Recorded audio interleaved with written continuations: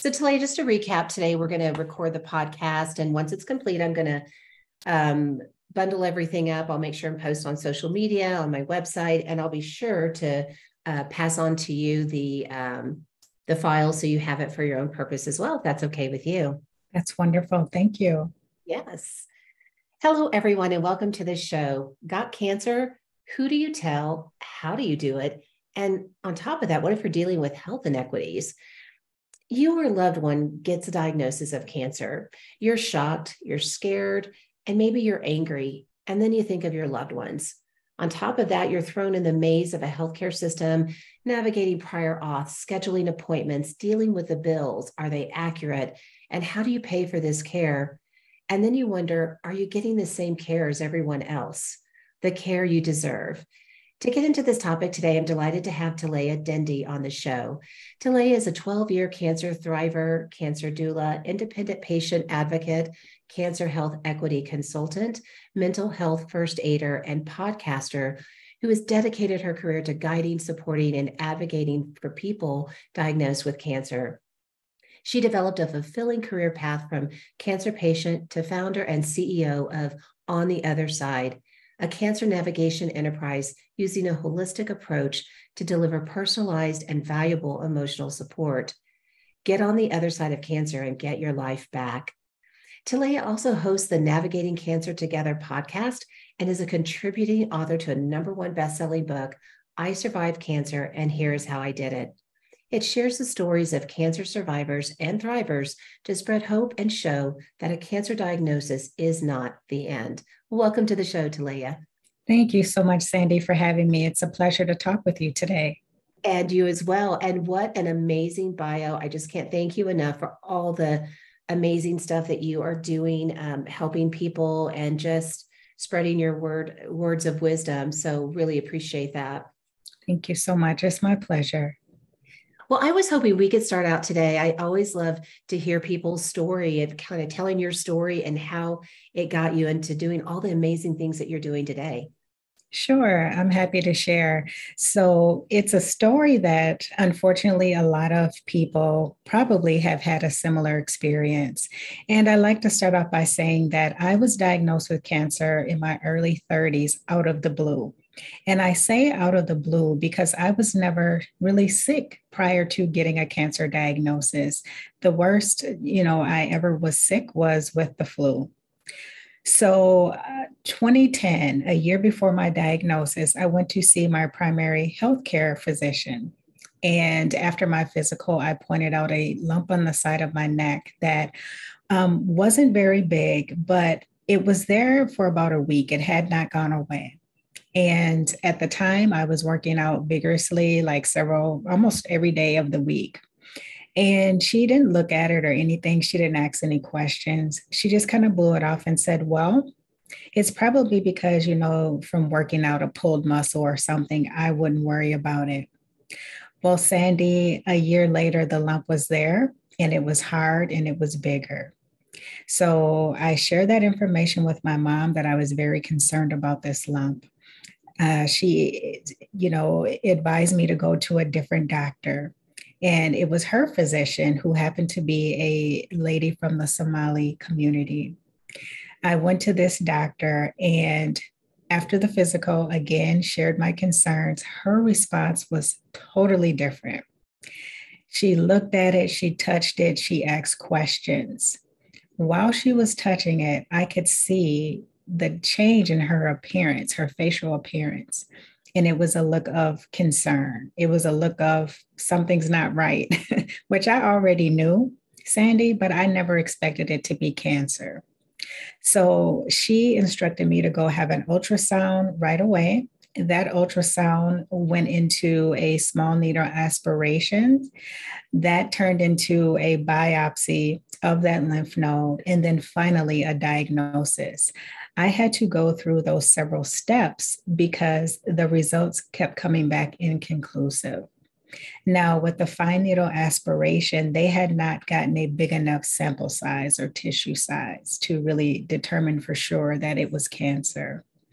So ultimately, I got a call on a Friday evening on my way home from work um, from a nurse and she shared with me that I had Hodgkin's lymphoma. Now, be going, before going further, Sandy, I would like to discuss the issue of waiting a year before seeing another doctor. Now, that's where Talaya, the advocate, started once I got that diagnosis. And many of the listeners may be wondering, well, why did she wait so long? Part of it, Sandy, was because, you know, I was so focused on climbing the corporate ladder. I was, you know, focused on helping some of my family members with their with their challenges and concerns that they were going through. Life was busy. However, Sandy, that is not an excuse. I will tell anybody today if you are not getting answers that you need, that you want, if you are not being viewed as a very important patient from your doctor, if you're being blown off, go see someone else and keep seeing different doctors until you get the answers that you need and that you're satisfied with. So now, when I look back, I realize that wasn't the best um, decision to wait but of course, fear, a busy life. And then also, Sandy, I can honestly say this today, even a little bit of self worth played a part in that. And your doctor's not always right. And so, in a nutshell, Sandy, that is my experience. I was, um, I had six months of chemotherapy and a month of radiation. And I'm happy to say that today I'm doing well.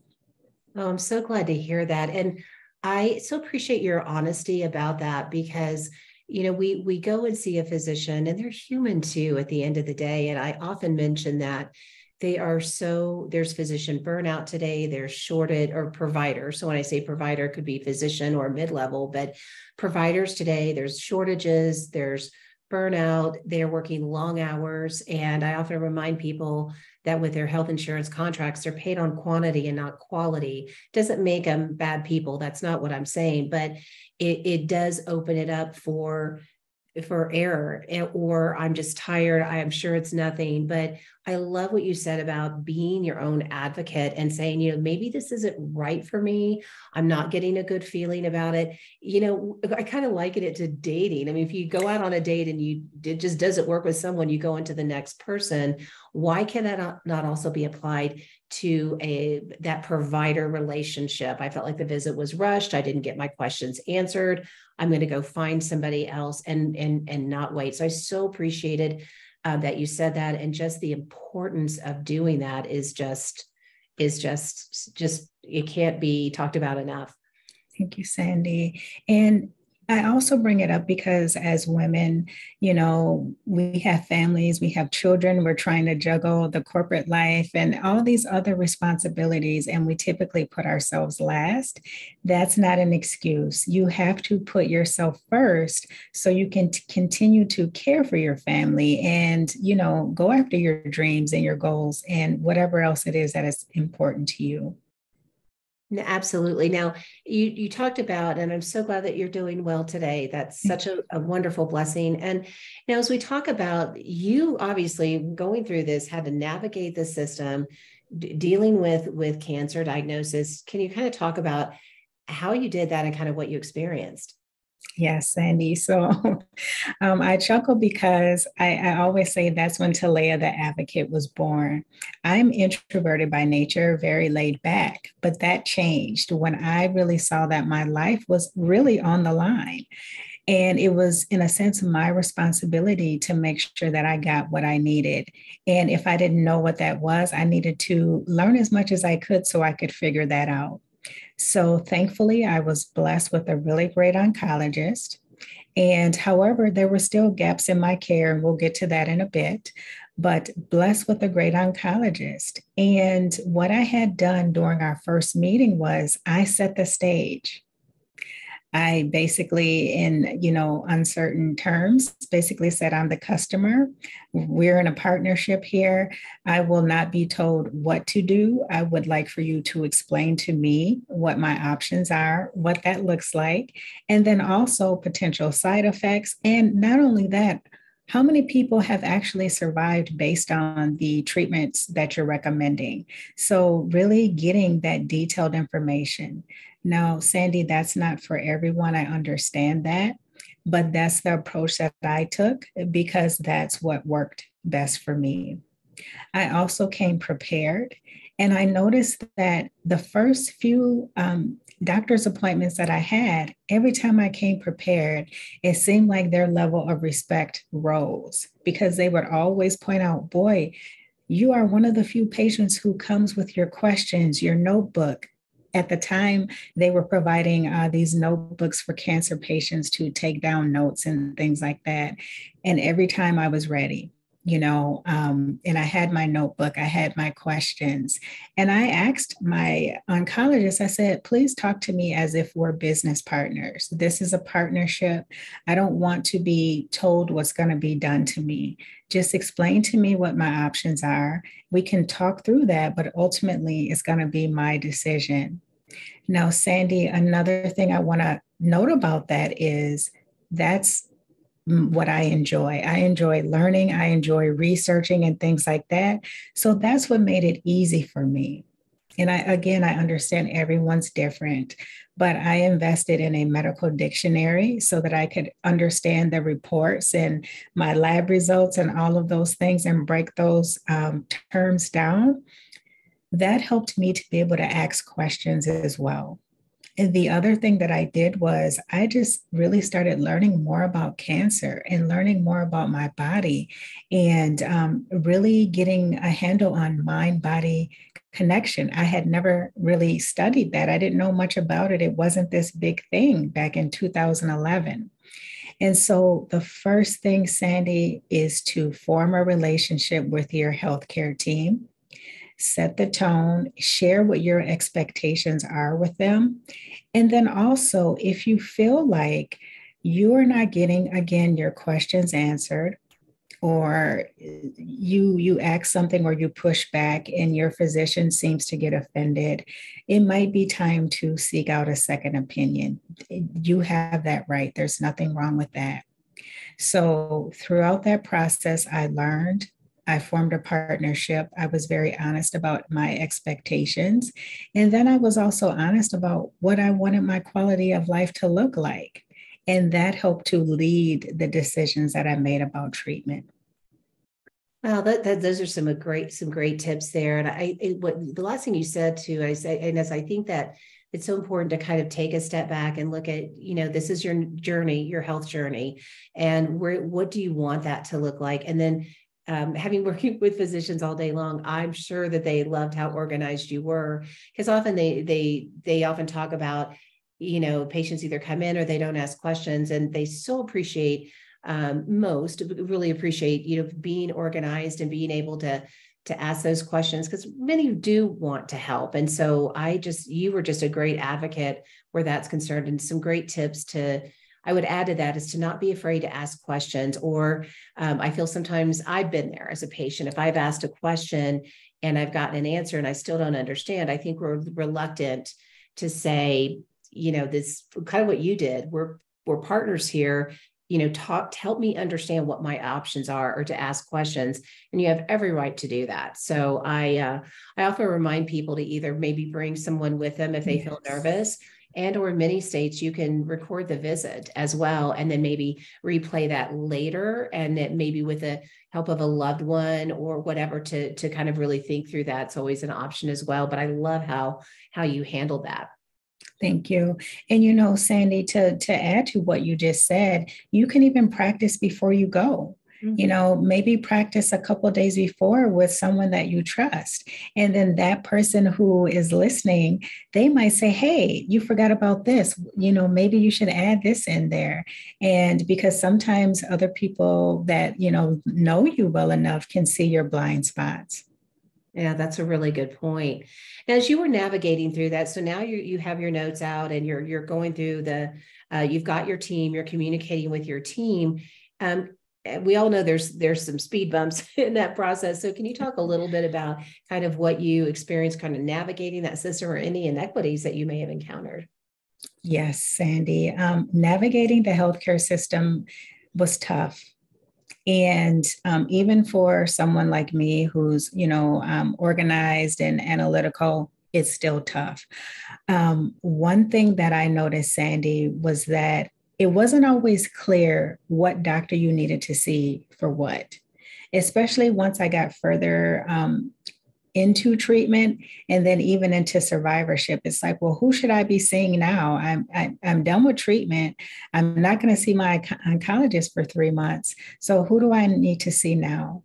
And so really just figuring out who were the the team players who you know who do i need to talk to to get support from about mental health if i'm really struggling or i'm stressed out who do i need to talk to if i have financial concerns so really understanding the structure the organization of the hospital where I was receiving care was critical.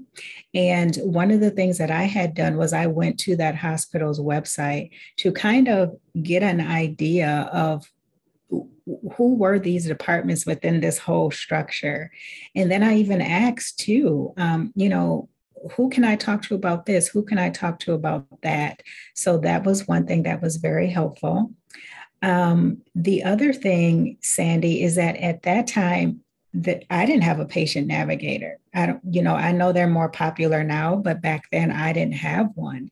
So it was like, it was really between me my oncologist and his nurse. So the three of us worked really um, closely together to make sure that I got the things that I needed or, or I was directed in the right place for things that they didn't take care of. And so just um, again, understanding where to go and if you don't know where to go for for whatever it is that you need ask and keep asking until you get that. The other thing um, you mentioned uh, any health inequities. Um, one thing that i did notice sandy was that um, my age. Every time every time i went into the infusion i was the only person the youngest person and the only black person or person of color and so my treatment, I feel like in that case, was not um, impacted because of my race. I'll say that. But honestly, looking back, I think that when I went to that primary care doctor, it might have been an issue. It not an issue, but it might have been a, a factor. Um, now, one thing that I did notice is that in the hospitals and clinics where I was getting treated, there were no Black people or other people of color on those brochures. There were not. But had I not felt um, respected by my immediate healthcare team, I think it would have been worse. It would have been not so good. But because we had that relationship, because I was given the utmost respect from day one, um, that was not something that I experienced there. Now, in my work, I have learned a lot about the inequities that people experience. Um, and of course, that is tied to a lot of different factors. Of course, it's race, um, your social and economic status. You know, there's even people that if they're like single and they have children, it's like, well, you know, you need to go find health care or something like that.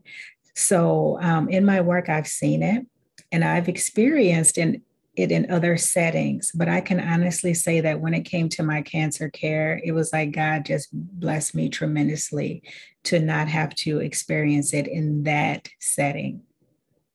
Well, I'm so glad that you didn't have to experience that, but but I'm I'm glad that you mentioned that um, today. But it's a sad that we have to talk about it. But I think it's important to be aware of that that that could possibly exist, especially if um, you're struggling with um, um, any, you know, you mentioned social determinants or how you live, or some people may judge you. And again, if that is happening, I think bringing it to discussing that with that patient navigator, because they do exist today. And I would add that um, there's risk management teams like in large facilities, and they discuss those things if people are feeling a certain way or not getting the care that they deserve. I go back to that again. And that's such a key statement there the care that you deserve. It doesn't matter what skin color, what age, it matters that you get that care you deserve. And if you're not getting that, to navigate um, to the right person. So, uh, but I'm glad that your experience was a good one. But you talked about helping people today and what you're seeing today. I kind of wanted to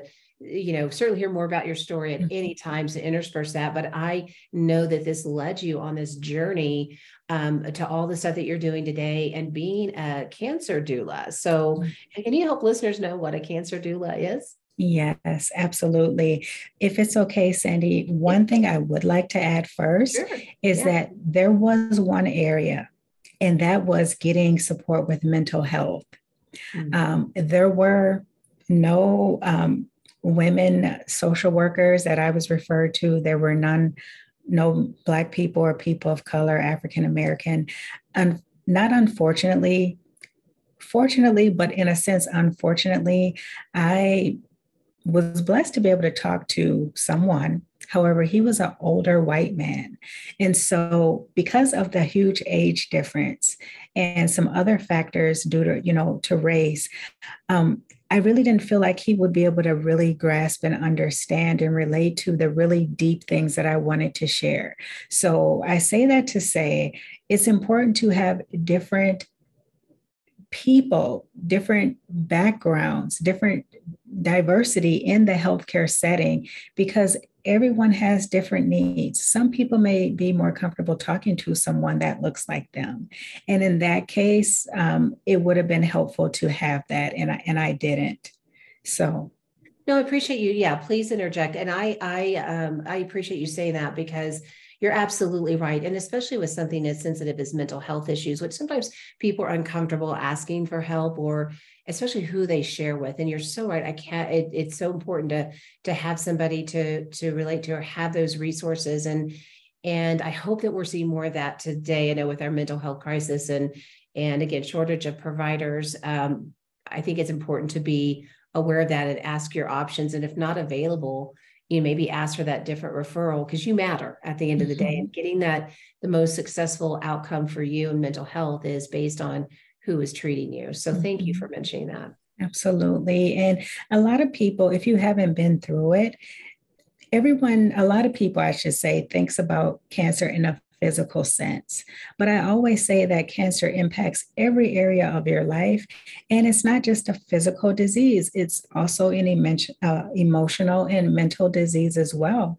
There's times where you're very stressed out, you feel a heavy burden of uncertainty, you have high levels of anxiety. It's important to have someone that you can talk to and that can guide you through that. Oh, most definitely. Uh, definitely. So, so does that kind of going back to uh, cancer doula? Cancer doula. What yeah. what is a cancer doula? And yes, Sandy, thank you. Um, so, a cancer doula. I, I like to explain it this way. A lot of people are familiar with birth doulas. That's the beginning of life, helping someone bring new life into the world. Uh, death doulas are becoming more and more popular these days. They help people to transition to the end of their life. As a cancer doula, we focus on the present. And what we're focused on is how can we get you on the other side of cancer so that you can live the quality of life that you would like to live and that you deserve to live. And so that's what it that's what a cancer doula means to me. I am working with my clients to help them look at cancer in the face, say, hey, not only physically how can I get over cancer and heal? But what other areas of my life do I need to look at so that, you know, when I heal, I'm healing emotionally, spiritually, mentally, in other areas. And so I essentially, Sandy, walk with people. I guide them. I provide them the information and resources that they need. It's a holistic and personalized approach to providing emotional support to people um, going through a very tough time. Oh my goodness. I, I love the name and I love that that of what you do because sometimes I think is that I kind of mentioned in the beginning, there's that shocked and, and that anger maybe and that fear. And you try to lean on a loved one or whatever, but they're kind of going through that too and saying, Oh my goodness, my loved one has this. And so I love that they can go to somebody like you who has that personalized approach and who's been down that road because you don't have to be alone through this mm-hmm. process.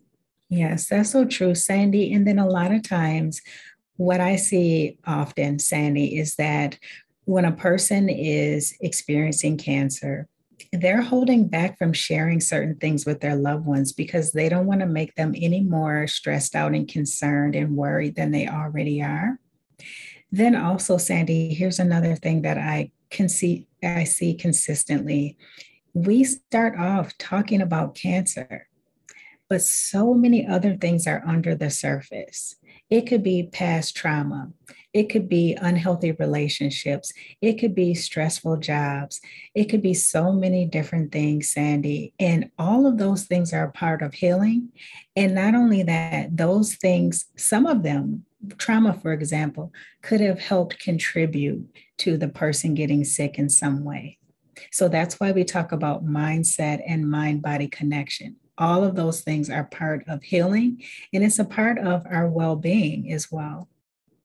Just going to put you a little bit on the spot here. I hope this is okay. is that um, can you obviously respecting someone's um, um, someone's privacy, but can you kind of share uh, uh, with us a story that you have had helping someone just to help people better understand that and kind of how you helped and kind of the outcome on the uh, on the other side?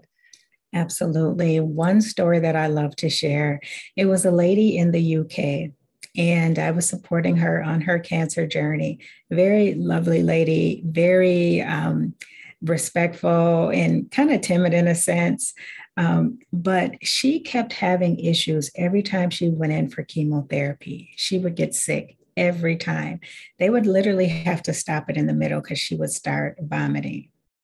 And so she she i didn't know this for a, a, few weeks and finally she opened up to me and she shared that. She's like Talaya every time i go i get sick and she said i'm i'm kind of afraid to say something because i don't want them to think the oncology nurse to think that i'm not appreciative of her help that you know i'm trying to tell her she's not doing a good job that sort of thing. So what her and I did, Sandy, is we put together a script, put together a script of how she could approach this um, concern and get the help that she need and talk with this uh, oncology nurse. And um, because she was very nervous and anxious about it, that's why we created the script and we practiced that. And we practiced it until she was comfortable and not only that, it was in done in a way that was her true voice. And so by her getting comfortable voicing her concerns to me, she was able to do that with the nurse and then throughout the rest of her treatment. And so the next time she went in, she talked with her oncology nurse. They gave her more anti nausea medication so she would not get sick. And not only that, they apologized and said, Oh, we had no idea that, you know, we weren't giving you enough. We wish you would have said something sooner. And so that helped to build their relationship and make both parties a little bit more comfortable. So that's an example. That's one. Another one is uh, there was a married couple. Initially, I started working with the person uh, who had cancer, and she felt really unsupported by her her husband, and got more information about that and I just kind of probed and asked certain questions. Well, this, of course, had been going on with other things prior to her being diagnosed with cancer. So, with her permission, I spoke with her husband separately. And I was just kind of the mediator. I said, you know, this is a tough time for your wife. This is what she's going through, and this is how she feels. And this is what she needs from you. And so he had no idea that it was that she felt that way.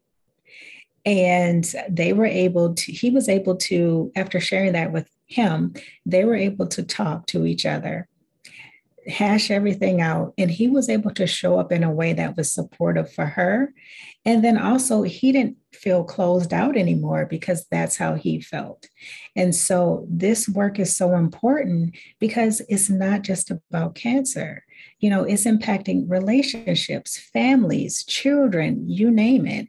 And so those are some very important examples. I think, you know, one of both are asking for what you need. That's the key in both of those. It, communication is the key in both of those. And then also just feeling like you're safe. You can talk about these things and not holding else in, which can further cause stress, anxiety, and which can further impact your immune system in a negative way. So uh, I feel like this is something that people need. Um, And there's no pressure, there's no judgment. You're free to share whatever you would like. Wow, amazing stories. And so glad that they were able to find you. I'm just so taken back by um, it, you know, by your ability to help these these individuals. And you know, thinking about that married couple for just one moment, I mean, it, it, you're so mired in, in, oh my gosh, this is what I'm going through. And it's easy to, for people to misinterpret, but to have that third party kind of come in there and either bring to light issues or just have, creating that safe environment where they can talk and create such a positive outcome, I think is amazing. And that's what I really focus on. I love that the cancer doula because you, just you're focused on care you're focused on scheduling that appointment and i think somewhere along the way you get lost and what your mental health or what's going on but just having someone that third party can come in and help navigate that and bring to light some things that um, can just help you be in a better place that you need to be to get healthy as, as you were saying saying at the end there. So that's uh, i appreciate you sharing those stories. Sure so I know you are on so many great things that you're doing. So um, so if someone just talk to me about if someone is interested in knowing more about you, you're the you're being a cancer doula, getting your services, just tell us a little bit about where how they find you. Absolutely, Sandy. Thank you for asking. They can actually find me at ontheotherside.life. Again, that's ontheotherside.life. That is my website. And you can go there and learn more about what a cancer doula is. You can learn more about my story. And then also, you can see some of the services that I have available. Um, I do one on one via Zoom or over the phone. So it doesn't matter where you're located, I'm, I'm available to help you. And then also, I recently launched a new service, which is Cancer Doula Pen Pal Support. That is for people who may need support, Sandy, but they are, you know, they have financial constraints, they have time constraints, you know, they're just not comfortable talking on Zoom. There's so many different things, but it's based on affordability and convenience. And those are barriers to care that a lot of people have. And so I wanted to create something where if they have a question, if they have a concern, or they want ongoing support, they can just send me an email. And then we communicate via email. And then not only that, they'll have a record of everything that we discussed. They'll be able to see their progress if we work together long term, but also they can do it from the comfort of their home. And there's no pressure you know they don't have to you know come up with answers on the spot if i ask them a question. And then also sandy it's a creative way to really think about what it is that you need what it is that you're struggling with what it is that you want. And um, also it can serve as a journal of your cancer journey as well. Well i love that you've added that. That's really awesome. I often say mm-hmm oh, let me think about that or let me put it in writing because I think better when I write am writing it down. And so yes. because it, it is such a different process to the point if you're on Zoom or you're having to come up with that response and you're like well i haven't thought about that It's uh, a good question and you feel this pressure to come up with a response but the truth is is if you think about it a bit and then you put it in writing you're like wow I didn't know I was struggling with that. So love that you're doing that. That's great Thank stuff. You. Now you also have a podcast, Navigating Cancer Together, as well. Can you share with us a little bit about that? Sure. So, Navigating Cancer Together is a show that is for people from different walks of life that have been impacted by cancer. And they could be, you know, cancer patients, cancer survivors, caregivers. But then also, Sandy, I think it's so important to make people aware of what's out there in terms of complementary care or alternative therapies um, because a lot of times people they may want to try something new or in addition to the care they're receiving but they don't know where to start. They don't know if they're vetted. And so that's what this podcast is about is people sharing their stories but then also other professionals from the complementary and alternative care areas coming in to talk about how they mm-hmm. support people with cancer. You know, I hear all the time people say this to me when I is in the, the number one statement is I didn't know that that exists or I didn't know about about how to do that. And so we don't deal with healthcare every day, but then when we we when it and I wish everyone best of health. But when it does hit, I mean, now you're struggling with navigating the system, but it, it's so amazing that there's these resources out there where someone's been on that journey and they can help you. And so I'm so grateful that you have that and others are certainly willing, willing to share. And we'll make sure and link to everything um, Leah you mentioned so that uh, people can um, access these resources.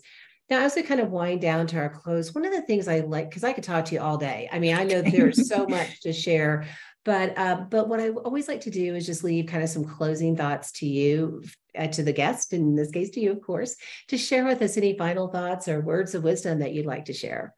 Yes, there, there's so many. Um, in the light of health equity, if it's okay, I would like to share this information um, because I, I feel like it's so important. The CDC recently stated that Black people or African American people have the highest mortality rate of any racial and ethnic group for all cancers combined and for most major cancers. So, this is what health inequities look like. This is what not, this is what leading with biases look like is it results in people dying. This is what not recruiting more people of color into clinical trials looks like. They are missing out on opportunities to extend their lives. And this is so critical. Um, one thing quickly is clinical trials. I know that there, there's definitely a history of medical mistrust that has been done to the Black community. Um, they've been done wrongly. We've been done wrongly um, when it comes to health and health care. However, today, Black people and other people of color have the opportunity to take part in these clinical trials so that they can have data on how these drugs can you know, better their lives or extend their lives. Um, a lot of the data that they get from clinical trials is from white people. So that means more Black people are dying because they're not being included in these trials. So that's another thing. Also, back to the medical, um, you know, basically the the medical um, assassination that they have done to Black people. There is only one way to move past that. That is to talk about it, to acknowledge it, and don't say they just don't care about their health. That is not true. A lot of people, minority people, people from diverse backgrounds, they don't feel like they're seen or that they're heard. And so that's where a lot of that comes from. So, how do you build trust with someone? That doesn't truly see you, that doesn't truly hear you voicing your concerns, that blows you off when you say, Hey, I have this pain in my side that has not gone away. Oh, don't worry about it. It's nothing. How can you gain someone's trust with that? And so that's one thing that I want to leave people with is that health inequities are killing people. They don't have to die, but they do have to be treated with respect they do have to be looked at as human beings, no matter how much money they have, where they work, whatever. So that's very important to share, I, I believe, when it comes to health inequities. The other thing is, I like to encourage people when you get a cancer diagnosis, I know it's easy to think about death because that's what we've been programmed to think about cancer is that, you know, you're going to die, you're going to be skinny and bald and walking down a hospital corridor pushing an IV tube. Today, more people are surviving cancer than ever. That's why we have this issue now with how do we take care of people that have made it and survived cancer treatment that's a whole nother topic, but I just wanted to touch on that. So I like to encourage people to not think about dying if you can when you've received that diagnosis. Think about what do I have to live for? And use that as motivation to push through and get through what you're facing. And then finally, Sandy, I was not a very uh, active or savvy healthcare consumer prior to being diagnosed. So I had a huge learning curve, but it was something that I had to take responsibility for. I felt like in order for me to live, that's how serious it was. And so I just want to encourage the people out there listening take responsibility for your health. If you are not getting what you need, if you are not being treated with respect, dignity, and like a human being, go somewhere else, get second opinions. You have that right. You are the consumer, you are the customer, and they need to meet your needs. Oh, well, that's all amazing. I don't want to stop now, but I really appreciate you went back to the the inequities because what you said is so true, and and we need to just say it out loud. It is absolutely true. We have a healthcare caste system, mm-hmm. and so and that that exists today, and, and we got to just let that sink in because it's absolutely true, and and people of diverse backgrounds don't get the care that they need, and there's prejudice out the window. I mean, obviously in in healthcare, and that's a problem, but um, if someone is, let's say, struggling back on that topic of, I want to be in a clinical trial, but I feel like I'm being discriminated against based on skin color. Is there anything that that someone can do, or do you just it just came to mind and I wanted to ask? Yes, I think one thing that they can do is talk to the the person who's heading the clinical trial and say, hey, if they can figure out who that is. Sometimes, you know, these different clinical trial websites, they're hard to navigate. But I always encourage people to, you don't have to have gone through several treatments and say, oh, I need to do a clinical trial. Once you've received that diagnosis, you can ask, are there any clinical trials for this? And not just cancer, because that is another option. It doesn't mean that you seek out a clinical trial because that's the last resort. No, ask up front and get that information. If if your doctor can't provide that, hey, who else can I talk to? And again, there's different websites online where you can go and research clinical trials. Um, again, that information is not um, they don't present it in a way that's very easy to understand. They're getting better, but I hear a lot of people still struggle with those online websites. Now, for example, Black women or Black men, well, Black women um, that are experiencing metastatic breast cancer, there's an organization called Touch, or they have a sister organization as well called When We Trial.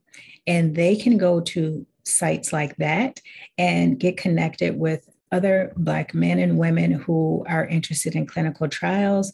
They explain how to go about doing that. They provide support and education as well. So that website is whenwetrial.org, I believe.